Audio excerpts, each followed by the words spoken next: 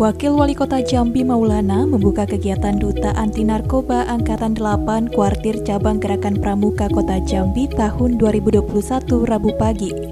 Kegiatan tersebut dilaksanakan di Pusdiklat Cap Kota Jambi.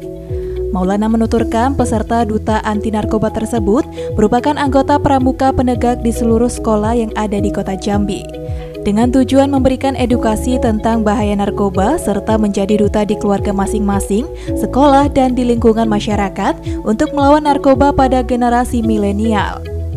Maulana menambahkan kegiatan tersebut merupakan percontohan secara nasional yang juga diapresiasi oleh Kuartir Nasional dan telah menginformasikan ke daerah-daerah di Indonesia bahwa Kuarcap Kota Jambi memiliki duta anti narkoba. Maulana juga berharap kegiatan ini dapat bersinergi dengan BNN Kota Jambi, Polresta, toko masyarakat, dan toko agama ini dapat membuat generasi muda di Kota Jambi terbebas dari narkoba.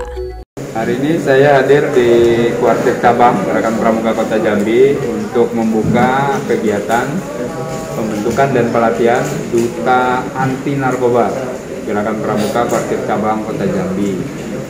Yang kami latih untuk angkatan ke-8 ini, jadi sudah ada 8 angkatan adalah adik-adik penegak di semua uh, sekolah se-kota Jambi.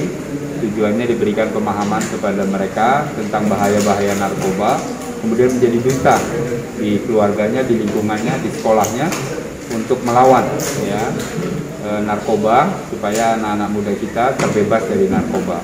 Kegiatan ini menjadi percontohan secara nasional, kualitas nasional mengapresiasi sekali kegiatan ini dan menceritakan ke daerah-daerah lain bahwa di kuartir cabang kota Jambi ada duta anti narkoba dari Pramuka.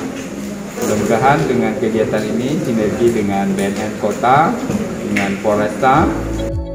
Lilis Karlina, Jack TV melaporkan.